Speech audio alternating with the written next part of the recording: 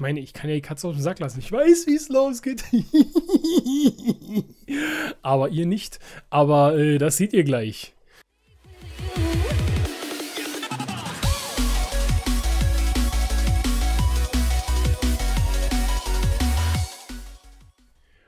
Ja, guten Tag, meine lieben Leute, hier ist der Guso. Er spricht wieder sehr schnell, weil er nicht die viel Zeit hat. Ja, doch, natürlich habe ich Zeit. ich wollte bloß schnell quatschen. Und zwar kommen wir gleich am Anfang zu einer Sache, die ich ziemlich geil finde. Der Daniel hat mir wieder äh, neue Bilder geschickt, die er von der Bogie Queen gemacht hat und auch, ja, die Hexe hat er sich mal vorgenommen. Also ich würde mal sagen, das ist ein Applaus wert. Da kann ruhig mal geklatscht werden, würde die Frau Merkel sagen. Ja, also wirklich richtig geil. Und äh, ja, sieht einfach total kurios und geil aus, muss ich sagen. Und das ist das, was es ja ausmacht. Richtig cool. Thanks to Daniel. Geiles Ding. Und jetzt gucken wir uns hier mal einen Angriff an. Ich weiß nicht, er heißt P. Lennart, denke ich mal. Plennart macht, glaube ich, nämlich keinen Sinn. Und er hat gute Truppen für die Base mit bei, würde ich sagen. Da kann er schön nutzen, dass der halt, naja, was soll, was heißt inaktiv? Ich meine, ja, inaktiv schon, irgendwo, aber irgendwo auch nicht, weil er ja die Lager voll hat, soweit, beziehungsweise relativ viel drin hat, muss man natürlich gucken, wie man dann in die Base noch reinkommt. Und ich bin ganz gespannt. Er hat nur eine 15er Queen, sage ich jetzt mal ganz frech. Genau, links ist da, genau, da ist noch ein Mine. Genau, einwandfrei auf jeden Fall. So, jetzt wird's knapp. So, wir haben Mauerbrecher. Die sind da reingegangen. Wir haben noch zwei Earthquake Spells. Und jetzt gucken wir mal, was hier geht. Ich weiß nicht, was er in der CB hat. Ob er vielleicht Heiler drin hat und einen Queen Walk vollführt. Man weiß ja nie.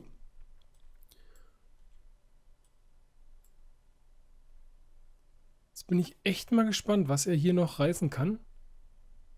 Also ich sag mal, die Zeit sagt ja vieles. Glaube ich, seht ihr auch. Aber truppentechnisch ist nicht mehr so viel da. Ich meine, ich kann ja die Katze aus dem Sack lassen. Ich weiß, wie es losgeht. Aber ihr nicht. Aber äh, das seht ihr gleich. So, also er hat Valkyren am Start und er hat Magier in der CB gehabt. Die splashen jetzt hier richtig hart. So. Jetzt kommen beide Sammler, also beide Bohrer. Richtig geiler Shit. Aber wir haben immer noch Dunkles und ihr könnt gerne noch mal 30 Sekunden zurückspulen. Da denkt ihr euch, what the fuck, okay, äh, hm? Und soweit hätte man ja nie gedacht, dass er, dass er kommt, sage ich jetzt mal, mit den Truppen.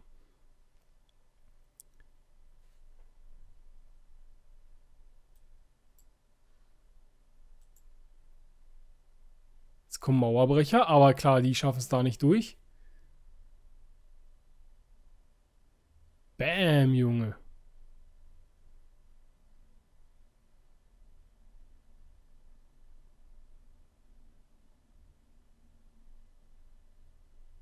Geiles Ding, nochmal schön mit der Queen durchgezogen.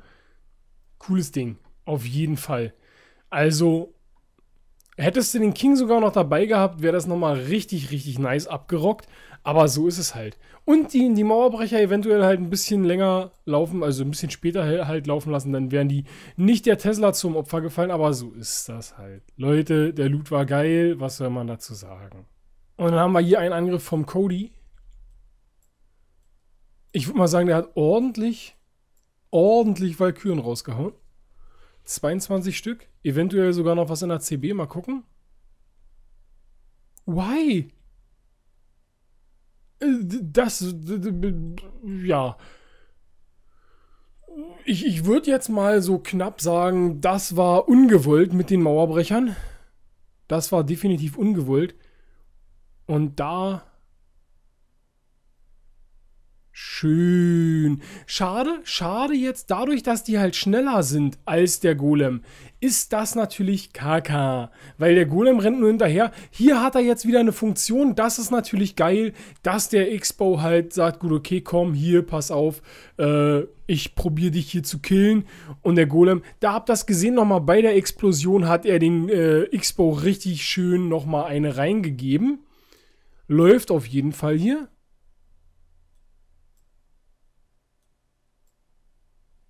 Ja, und du siehst ja selber, Cody, der 18er King ist schon besser als ein 10er, wa? Wir haben mega viele Valkyren noch. Rage rein. Ja, oder, ja klar, okay, oder danach. Aber bevor die sich halt so Ewigkeiten auf dieser oder vor dieser Mauer aufhalten, Rage rein und fertig ist. Ganz genau. Und jetzt hier noch die Armeelager schnell. Schaffst du das zeitlich? Alter, damn close, aber ja, ja, ja, ja, ja, ja, zack. Bam! Geiles Ding auf jeden Fall. Cool, vom Loot her okay, aber ihr wisst selber, es gibt natürlich ein bisschen was an Bonus. Und guckt es euch bitte an, 45 Pokis. Das ist natürlich da richtig, richtig geil. Damit kann man richtig was reißen. Ja, und ich habe mir jetzt einfach nochmal ganz sneaky einen in, inaktiven Gegner ge gezogen. Ähm, und ich habe gerade noch mal beim Video vom Lars vorbeigeguckt, beim Zuschauer-LP. Und er sagte, ja, Loot, Loot, Loot ist einfach nur so gut, gut, gut wegen der EM. Und ja, da könnte er eventuell leicht recht haben. Habe ich noch gar nicht so drüber nachgedacht, aber dachte mir, ja, das stimmt allerdings. Ich meine, wie gesagt, bei den EM- oder WM-Spielen, je nachdem, vollkommen egal, was es ist, Fußball, ähm, ist immer gut, wenn ihr eine eBay-Auktion am Start habt, beziehungsweise ihr selber was äh, auf etwas bei eBay bieten möchtet, dann seid ihr zu dieser Zeit richtig gut willkommen auf eBay, weil ihr da einen richtig schönen Schnapper machen könnt. Und genauso kann man natürlich auch ordentlich Loot einsammeln, wenn man COC spielen möchte. Also von daher nutzt die Zeit und fertig.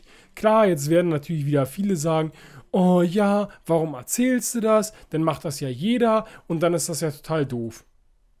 Ja und? Ich mache das, weil ich es kann, Junge. So, ganz einfach. Und dann ist das ziemlich geil. Jetzt wird nochmal der Account geswitcht. Und da sind wir wieder bei meinem Main-Account. Sehr geiles Ding. Ich guck mal gerade, yo, CB ist einwandfrei. Oh, ich bin ein Sternchen vorm hm, hm, hm, nö. Ein Sternchen vorm nächsten, ja, Loot-Bonus, Beute-Bonus, Liga-Bonus, wie auch immer. Das wäre ja auch geil. Hier. Er hat doch auch verloren. Jetzt, jetzt gucken wir mal, ob er eventuell Teslas am Start hat. Könnte natürlich sein. Jo, er hat Teslas da und das ist natürlich die Möglichkeit für ihn, sich wieder bei mir in einer neuen Runde Fuck You zu bewerben. Er hat es hinbekommen und wird natürlich dann umso mehr gebumst. Gucken wir mal, was wir hier machen. Ich werde die trotzdem nur in dem Bereich setzen, auch wenn ich da, äh, ja, Bogi-technisch jetzt äh, natürlich wieder jede Menge waste. Aber ich kann hier. Ah, nein, nein, das war ein Fehler.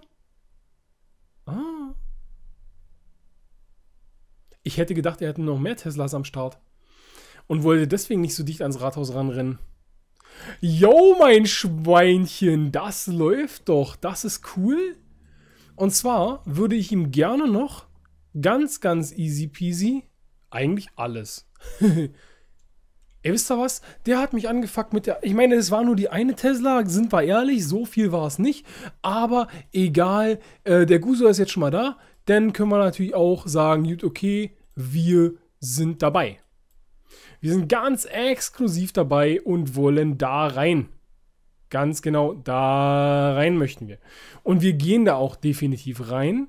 Und wir fragen ihn da auch nicht nochmal um Erlaubnis. Wir hauen die paar Trüppchen noch raus. Da haue ich jetzt auch einen Rage drauf. Ist mir vollkommen Banane. Und den anderen Earthquake, den können wir uns ein bisschen schenken, würde ich sagen. Aber Queen regelt richtig nice, auf jeden Fall. Und ich bin auch so ein bisschen auf sie angewiesen, weil ich hoffe, dass die mir nämlich ganz hier easy peasy hier, genau das sollst du holen. Das, richtig, ganz genau, das solltest du holen. Und darum ging es mir in diesem Angriff dass halt wirklich das Dunkle weggenommen wird, weil er hatte da eine Tesla zu stehen. Tut mir leid, dann ist das halt einfach so. Mal gucken, was er noch in dem Bohrer, der ist eh nicht gemaxt, da kann nicht so viel drin sein. Aber immerhin, immerhin hat sich gelohnt, was man hat, das soll man sich auch nehmen. Und dann passt das hier. Ach kommt Leute, hier ich wollte schon sagen, hat er ihn auf Single oder was ist mit ihm kaputt? Nein, das passt, das ist in Ordnung. Achso, ansonsten für diejenigen, die es eventuell nicht so genau wissen, die noch, ja, einfach mit Town Hall 10 nicht so viel zu tun hatten. Es ist ja nicht so, oh, hier, was bist du für ein Lappen oder sowas, weil du dich äh, nicht auskennst mit, mit, mit dem Inferno oder sowas. Nein, das ist da ganz gechillt. Und zwar, wenn der hier in diesem ist das ein Oktaeder? Naja, auf jeden Fall in diesem äh, leicht kubischen Form, in dieser kubischen Form halt eben so mehrere Ecken hat. Eins, zwei, drei, vier, fünf, so, so, so ein Fünfeck. Dann ist der auf Multi und wenn der halt nur so einen Ring drum hat, dann ist der auf Single. Und zwar nicht in der Partnerbörse, sondern der geht dann mal richtig schön da, äh, drauf auf den King auch oder auf den Golem und dann ist mit dem absolut gar nicht zu spaßen. Also das ist dann echt eine Sache, mh, hm, nicht so toll. So. Hat heute. Nee, ich glaub mir, Nova, das wirst du wohl bei mir nicht sehen. Das wirst du bei mir nicht sehen. Äh, weil ich, wie gesagt, wirklich, ich, ich sage das einfach wirklich immer, immer wieder super, super gerne auch, weil ich da, ja, das ist eine Sache, da bin ich der Meinung, darf man gerne stolz drauf sein. Ich habe noch nie Drogen in irgendeiner Form genommen. Ich meine, ihr seht mich, wie hart ich drauf bin. Wenn ich noch Drogen nehmen würde, Junge! Nein, das würde ja gar nicht gehen. Nein, also von daher ähm, ist wirklich immer wieder diese Aussage, die ich immer wieder tätigen darf und mache und wie auch immer. Fangt mit so einer Scheiße auch gar nicht erst an. Wirklich. Und wie gesagt, auch nicht so eine Stories von wegen, naja, ich habe ja mal probiert und wie auch immer. Warum denn? Ihr seid, auch wenn, ich, ich sage jetzt mal, du bist zehn Jahre alt. So. Und irgendeiner sagt dir in zwei, drei, fünf Jahren, hey yo, ich habe hier was dabei. Wollen wir mal was durchziehen? Dann sagst du einfach, nein. Ganz einfach. Also es ist meine Meinung. Also da, da ist man auch nicht irgendwie, ähm, ja, ein Verlierer oder was auch, Klotz ein Verlierer oder sowas. Also das ist eine, eine, eine, Sache. Wirklich, da zeigt ihr halt einfach, dass ihr... Oh, jetzt habe ich den falschen. Gucken wir mal, ob, ob hier Mirsat... Nee, wäre auch so nicht gewesen. Aber da zeigt ihr nicht irgendwie, oh ja, hier, ich bin ja total die Pfeife oder sowas, sondern da zeigt ihr effektiv wirklich nur Stärke. Also und wenn die auch ein bisschen rummaulen und sagen, oh, hier, warum nicht, warum nicht. Wie gesagt, spätestens wenn das erste Mal die Police am Klopfen on the door ist, äh, dazu muss es ja auch nicht mal kommen, aber ich meine, hey, äh, da gibt es auch irgendwie Langzeitwirkungen und wie auch immer. Das muss einfach nicht sein. Also egal bei welchen Drogen. Zumal es auch eine jede Menge Kohle kostet, meiner Meinung nach. Also da bin ich der Meinung, das sollte halt nicht sein. So, jetzt genug gelabert hier von Drogen und Drugs und wie auch immer. Ja, das war es dann auch schon wieder bei der Folge. Ich hoffe, es hat euch gefallen. Und wie gesagt, ihr werdet es eventuell gestern mitbekommen haben und ja, hoffentlich auch heute. Ich habe mich wieder, ich habe das ja immer wieder mal gesagt, also ich erwische mich halt einfach wirklich immer wieder dabei, dass ich halt die Folgen aufnehme, fertig, gleich wieder weitermache, wieder aufnehme, fertig, aufnehme und so weiter und so fort. Und dann irgendwann um, was weiß ich, 23 Uhr sitze ich halt da und fange dann an zu schneiden. Und dann ist es halt einfach wirklich so, dass dieser äh, Lustlevel nicht mehr so hoch ist. Und dass man dann halt wirklich sagt, na gut, okay, komm, schnell, schnell, schnell. Und ein Pfeil musste da jetzt nicht unbedingt einfügen. Und ich probiere das halt einfach wirklich so, dass ich wieder so sage, gut, okay. Auch wenn vielleicht nicht jeden Tag ein Video kommt, aber das Video, was dann kommt, ist dann schon mal ein bisschen besser. Also, das ist nicht so dieses zack, zack, zack, zack, zack, schnell, schnell, schnell ist. Ich hoffe, ihr habt dafür Verständnis und es gefällt euch. Das war's von mir. Ihr haut rein. Ich wünsche euch was. Ciao, ciao.